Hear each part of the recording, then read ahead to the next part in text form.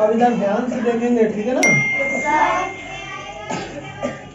भाग, फल ज्ञात करना।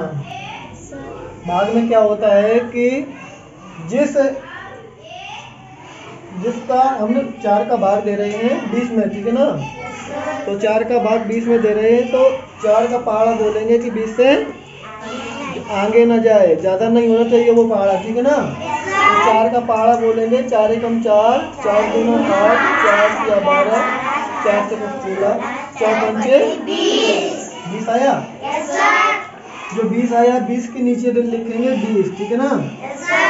और यहाँ से लाइन खींच देंगे। और कितने बार में आया था? पाँच बार में। पाँच बार, पाँच लिखेंगे यहाँ पे, ठीक है ना? अब इसके बीस और बीस में से घटाएँगे तो क्या आएगा? ज़ीरो यानी कुछ भी नहीं, ठीक है ना? ये हमारा भाग हो गया। अब चार का, यहाँ पे भी है चार का भाग देना अट्ठारह में, ठीक है ना? चार का भाग अट्ठारह में देंगे तो चार का पहाड़ा बोलेंगे, जब तक अट्ठारह नहीं आए और या अट्ठारह आता है तो अट्ठारह लिखेंगे, नहीं आता है तो उससे अट्ठारह से संख्या से ज़्यादा नहीं जाएँगे, ठीक है ना? उस पहाड़ी में। तो चार का पहाड़ा बोलेंगे, चार एकम चार चार दो छः, चार तिया बारह, चार से सोलह, चार पंचे बीस। यानी पाँच बार में बीस हो रहा है। तो पाँच बार में ज़्यादा हो रहा है तो चार बार में लिखेंगे, चार बार में क्या आएगा?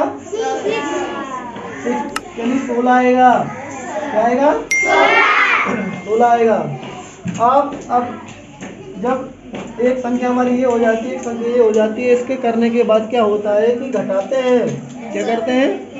आठ में से छः घटाएँगे तो क्या आएगा? नौ। गलत बात आठ में से छः घटाएँगे दो आएगा। क्या आएगा? दो। और एक में से घटाएँगे? ज़ीरो। और आगे ज़ीरो रखने का मतलब कुछ भी नहीं है ठीक है ना? अगर पीछे ज़ीरो रखते हैं तो कुछ मायने रखती है ठीक है ना? ठीक है? तो ये हमारा हो गया क्या? शेष शेष फल हो गया ठीक है ना? शेष फल हो गया। और हमारा ये भाग हो गया। अब अब तीसरा वाला देखेंगे कि चार का ठीक है ना? चार का भाग ट्वेंटी थ्री से ज़्यादा नहीं होना चाहिए ठीक है? तो हमने बोला था चार पंच बीस आता है ना? और चार पंच बीस चार छः बार में क्या आएगा? चौबीस आएगा। क्या आएगा? चौबीस। तो चौबीस ज़्यादा होता है तेईस कम होता है। तो ज़्यादा नहीं रखना है कम ही रखना है। भाग क्या कहता है हमें संख्या कम चाहिए है ना? तो चार पंचे यहाँ पे क्या आएगा पंचे बीस आएगा। ठीक है क्या आएगा? बीस। अब तीन में से ज़ीरो घटाएँगे। अब यहाँ पे देखना ध्यान से। तीन में से ज़ीरो घटाएँगे तो ज़ीरो नहीं आएगा तीन आएगा। क्या आएगा? तीन। आएगा। अब दो में से दो घटाएँगे। तो मैंने बताया था कि आगे ज़ीरो रखने का मतलब कुछ भी नहीं है ठीक है ना? तो आप इसको रखते भी हैं तो ठीक है नहीं रखते हैं तब भी ठीक है ठीक है ना? इसलिए भी क्या हुआ? शेष फल हुआ। क्या हुआ? शेष फल। हुआ। और ये